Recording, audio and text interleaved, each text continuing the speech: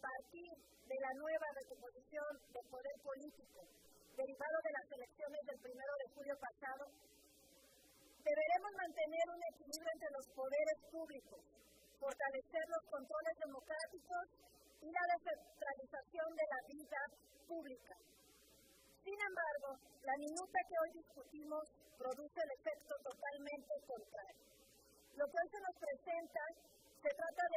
reforma altamente regresiva y concentradora de las facultades de las dependencias directamente en una figura, la presidencial. Es el caso de comunicación social, las unidades de administración y gestión, que sustituyen a las oficialías mayores de las secretarías o las delegaciones de programas para el desarrollo, así como las unidades de apoyo jurídico de las dependencias y entidades de la Administración Pública Federal, como ya lo habíamos señalado.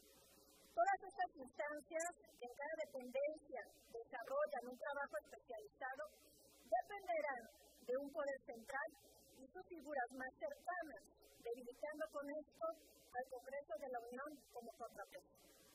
Esta minuta hace modificaciones a la propuesta de legalizar la cuestionada figura de los representantes estatales que eventualmente operarían los programas sociales, lo cual atenta en contra del federalismo y de la autonomía de las autoridades locales, como ya se ha señalado, múltiples gobernadores así lo han manifestado, contradiciendo, compañeros diputados, el propio texto de la Constitución que en su artículo 40 dispone.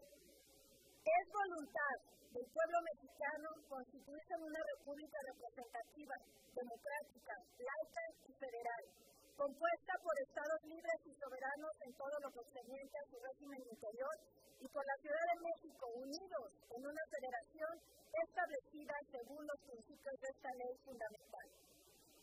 Lamentamos que en el proceso de discusión de esta minuta no se haya posibilitado la construcción para que quedara más claro y es de interés continuar con la propuesta de los delegados estatales, definir y clarificar la relación entre estos, las atribuciones y la coordinación en los tres niveles de gobierno.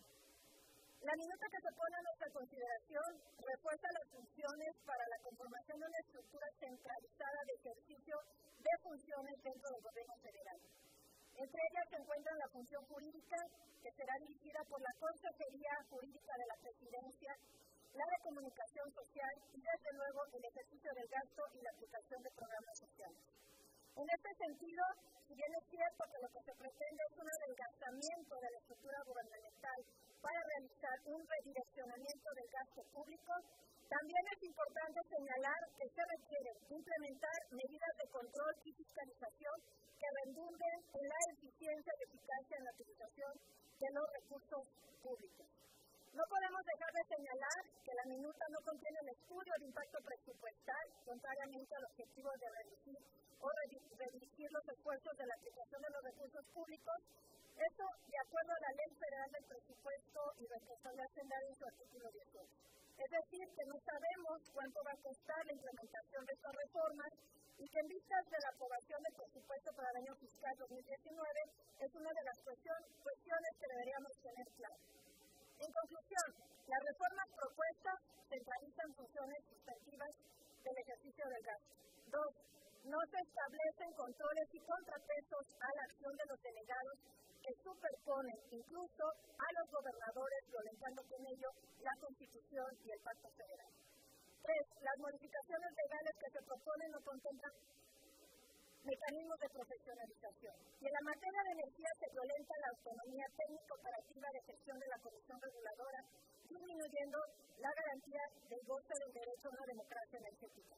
Tenemos la responsabilidad, compañeros, de dar fuerza al diálogo y al consenso, a la construcción de una nación con un Estado de Derecho, garantizando, sobre todo, el equilibrio y la distribución.